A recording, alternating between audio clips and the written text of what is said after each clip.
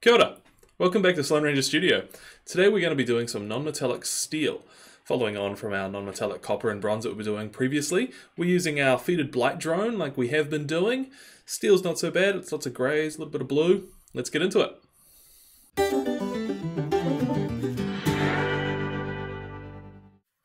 So here is our Foetid blight drone from the last episode in this series. The first thing we're going to do is create a 50-50 mix of black and Mechanicus Standard Grey. So it's out of focus here because I got this guy in front. But we've got a 50-50 mix of black and Mechanicus Standard Grey, and we've thinned it down a little bit. It's going to take a little bit on our brush. And on this guy here, I'm just going to start by picking out where we want some of our rider points to be. And this is a cylinder, much like the, the copper video, so I'm just going to push some paint up towards the center here. But because it's so large, we might end up picking like maybe two sources of light on something so large. You know, maybe we'll have something in the middle here, then we might have, you know, lights kind of on either side. So, gonna pick pick out that second point there, and then just bring the bring the paint up towards that as well. Maybe on this side as well. Maybe just right here. And then bring the paint towards that. So we're picking out three points but we're going to start building up some highlights. This first step's very dark, don't worry about it, it'll get brighter. So push up that grey towards your highlight points and then maybe in these kind of areas here as well. It's going to be a little bit of light, so maybe on a couple of these blades we'll, we'll pick out pick out where the light's going to be. Alright, so that first step is done, and it's not that noticeable, but we're just laying out the groundwork for steps to come. So the next thing is to take some thin down Mechanicus just on its own. Just take a little bit on your brush and just in those same places where you decided the light was going to be, push, push that paint up into it.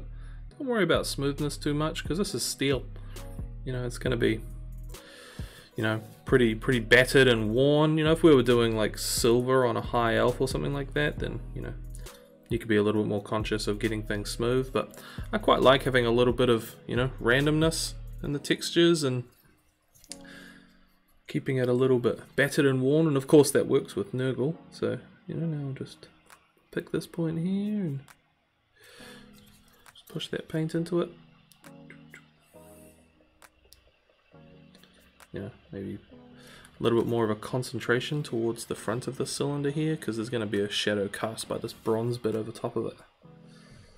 So a little bit more paint maybe towards the towards the ends of the cylinder. So do the same around, you know, just kind of, you know, with every step, decreasing the surface area.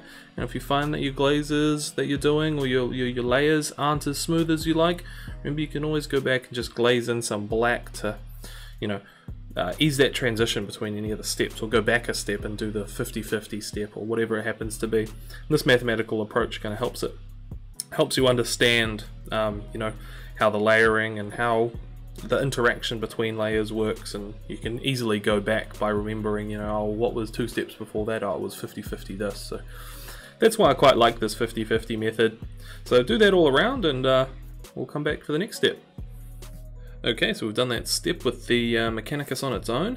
Next thing we're going to do is follow the same sort of process. This time we're doing it with Dawnstone. So Dawnstone is a slightly lighter grey, void of any kind of tone. It's not really warm, it's not really cool. I don't think it's got much of a value of any kind of colour other than black and white in it, which is perfect for this uh, steel process. So take a little bit of Dawnstone, nice and thin,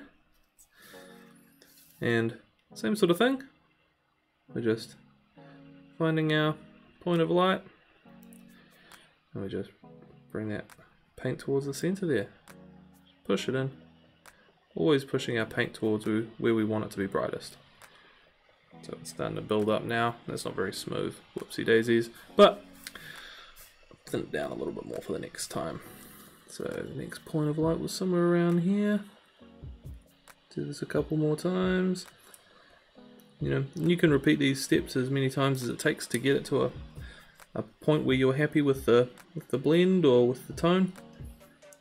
I think you know, usually for me it's around about twice usually works. Sometimes I kind of go around and I think, hmm, I can push that a little bit brighter. So yeah, kind of work your way around, push this paint around, and uh, we'll come back for the next step. Alright, so there is that Dawnstone layer. Next thing to do is to make a 50-50 mix of Dawnstone and Ulthuan Grey. Ulthuan Grey is going to be as bright as we go for this, because with steel, it's not like silver, you know, it's not like bright, intense white, it's always a little bit dull. Uh, and Ulthuan, this color here, is uh, it's about as bright as I think steel should go. You can go brighter if you feel like it, but this is just what I'm going to be doing in this tutorial. But anyway, 50-50 Dawnstone and Ulthuan. So, got this mix here and thin it down. And now, we're getting very close to our highest point here. So what I like to do is I like to draw a, draw a line, sorry. Take off the excess and then kind of push it up towards that point there. Yeah. We're getting quite a fine area now. And we're getting right towards the, the brightest brightest point of our light source.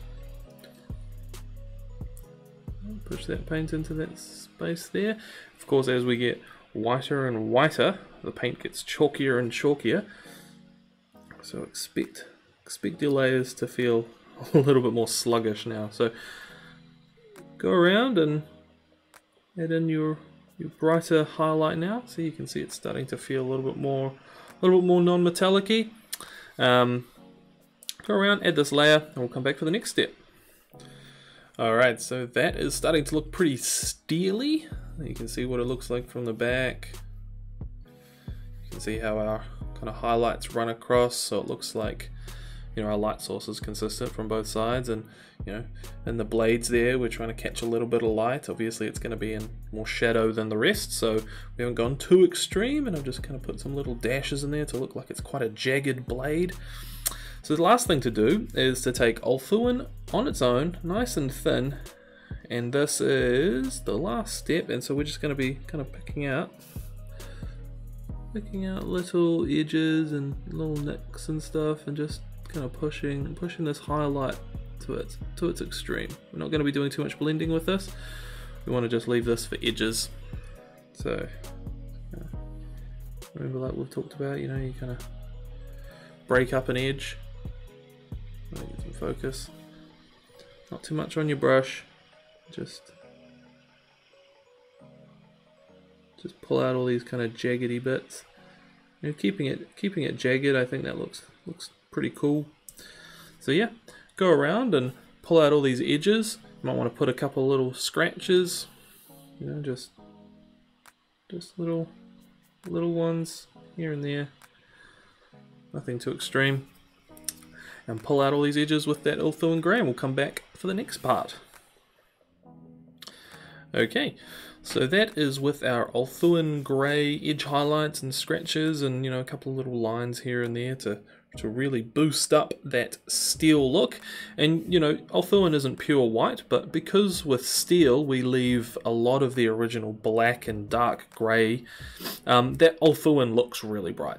Um, you know, if we were to put real true bright on there, you know, something, you know, like this, it would start feeling really, really silver. And that's not really what I want for this. So the next thing we want to do is just to give it a little bit of a cool sheen. And so what I'm going to do is just glaze on some of this Wonder Paint here called Aethermatic Blue contrast paint. And it's just a nice cool cool blue and obviously because it's transparent it works really well as a glaze so I'm just going to glaze some of that on over the midtones so we want not a lot on our on our brush here. What we're going to do is just over some of these areas here, obviously we don't want to take over our, our true white. I'm just going to glaze on some of that blue. Not our true white, sorry, our grey. So just over the midtones, we're just going to put some of this over top. And that's just going to give it subtle, cool cool look.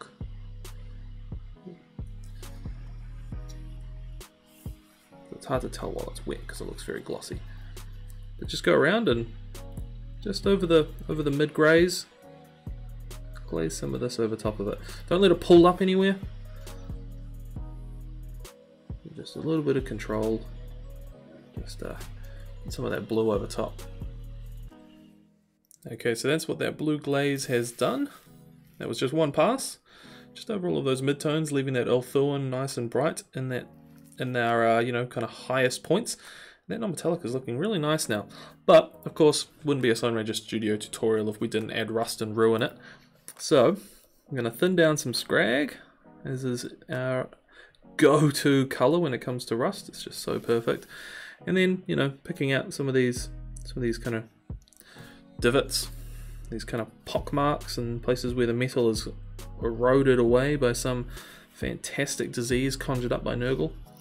Um, so those are those are great places to pull up some rust, but also you know, and around these areas here where the, the water might pull up a little bit, just kind of glazing it in, you know, kind of letting it pull.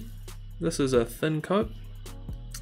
Um, you know, maybe around these the center point of these blades, the rust would kind of sit. You know, I don't want to go over too much of the work that I've put in uh, to get this non-metallic, so this is a bit of bravery, but also a bit of subtlety. So, you know, trying not to trying not to take over the steel that we did. I'm just going to add a little bit of color to it, and obviously these blues and oranges that we're putting into the steel is going to help tie this whole miniature together. So go around, add that Skrag Brown, and then of course add the troll slayer just afterwards. And so, you know, in the same kind of area, just add a little dot of the troll slayer. That just brightens it up, makes it look like really fresh rust. So it's the same process we did on the blue armor tutorial here if you've been following along. So go around and do that and we'll come back to show it off when it's all done. Alright, and there we have it. That is our finished off steel. It's looking pretty good pretty happy with it. You can see, you know, lots of dark, but also a bit of light catching up, catching off the, you know, our light sources that we picked out at the start. You know, our rust and our blue glaze is working together nicely with the rest of the model. You know, our bronze, or, you know, maybe it's more a bit more like gold. Try to make it bronze anyway, but, you know, that's working well with our steel there, and, oh yeah, that's a nice angle. Um, yeah, I'm, I'm pretty happy with that. I hope it wasn't too difficult to follow along. You know, it's a few it's a few steps of mixing in greys, but it's pretty straightforward. You're basically just starting black and working your way up to a very bright grey. Um, you know, if you wanted to make this silver, you'd just have a little bit more of the, the medium grey and less of the black. But, you know, we wanted a quite dull steel look, so we're keeping a lot of our black in the mix. You know, our rust is nice and subtle. It's not taking over, you know, you could really you could really overdo the rust here and you'd lose that non-metallic feel that you've worked so hard to achieve. But I hope you like it. Let me know in the comments how it uh, how it works for you and you know what you thought of the video and any other feedback. I'm always trying to improve the channel and of course if you like my content please like and subscribe. Um, you know hit the bell if you want to follow along and see all of the stuff that I put out. Oh, just reminds me, I gotta do the copper on these. I did the copper here, but I forgot to do the copper up there. anyway, next up we'll probably do the eyeball, maybe we'll do the flesh. Comment below what you'd prefer. Thanks again, and I'll see you next time.